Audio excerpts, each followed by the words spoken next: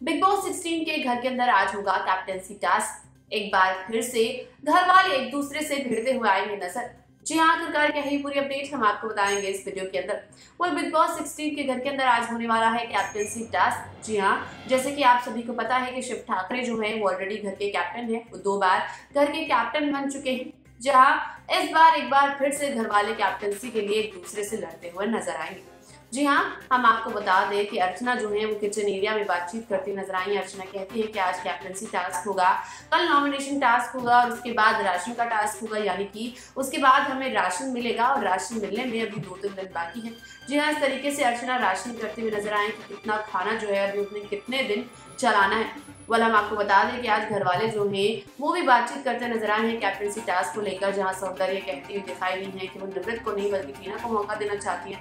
क्योंकि निमृत ने कहीं भी लॉयल्टी जो है, वो प्रूव नहीं की है। वाल हम आपको बता दें कि घर के अंदर शिव ठाकरे जो है, वो दो बार कैप्टन बन चुके हैं। ऐसे में जो शिव के फेवरेट्स हैं, वो टीना और निमृत हैं, यानी कि हो सकता है कि एक बार फिर से फेवरेट्स और नॉन फेवरेट्स जो है, वो लड़ते नज़र आए कैप्टनसी टास्क के लिए। आपका क्या कहना है, इस पूरी अपडेट को लेकर हमें कॉमेंट सेक्शन में ज़रूर बताइएगा। और इसी तरह की खबरों के लिए हमारे चैनल को सब्सक्राइब करना ना भूलें